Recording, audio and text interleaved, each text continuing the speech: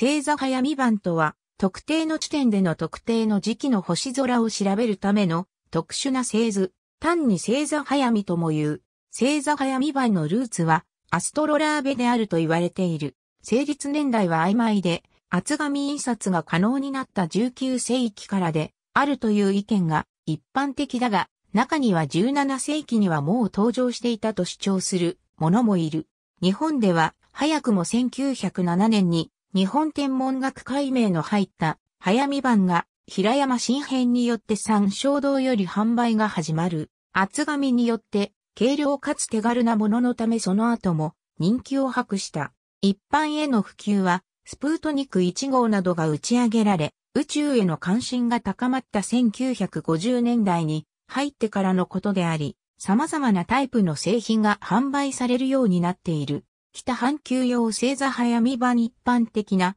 星座早見版は円盤型をしている。北半球用星座早見版、南半球用星座早見版、一枚の表と裏が北点と南点になっている。南北点別星座早見版がある。星座早見版は、星図が描かれている母版と水平線以下の部分を隠す回転板の2枚の円盤よりなり、これらの円盤は、鳩目などを用いて回転可能な陽動針に止められている。北半球用では、星図の中心には必ず天の北極が位置する。南半球用では、天の南極が中心となる。回転板の開口部は、星図の中心を含む楕円型をしている。母板は、観測緯度から見える天球を方位図法によって描いた星図である。見える星の積位の加減が緯度によって違い、それによって余分なところを落とすため描くことができる星図に限りがあり、観測緯度によって別々のものを用意する必要がある。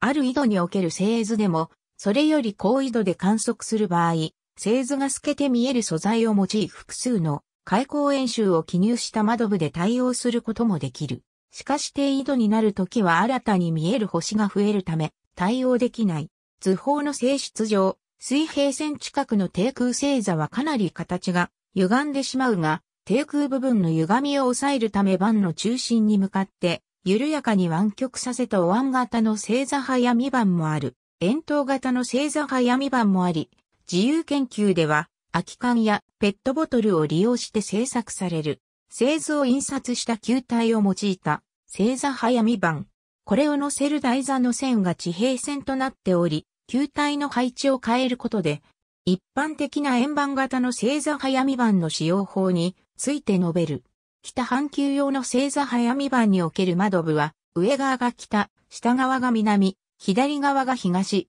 右側が西となっている。見たい星空の方角を向き早見版の、その方角が記載されている部分が手前側になるように早見版を持つ。母版の外周には月日のメモリ、回転板には時刻のメモリが印刷されている。観測している月日と時刻のそれぞれのメモリを合わせると、その日その時刻の星空の様子が窓部に現れる。方角や日時などを合わせた状態のままで、これをかざして星座を探す。コスモサインウォッチ時計と連動して、現在の星空を表示するコスモクロックが販売されている。ありがとうございます。